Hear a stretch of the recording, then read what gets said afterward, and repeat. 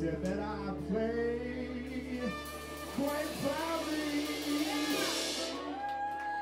in a band that doesn't make me any money, but a band that I'm happy to be in. Cause I get to play with all my friends and for all my friends who get dressed up and look so beautiful.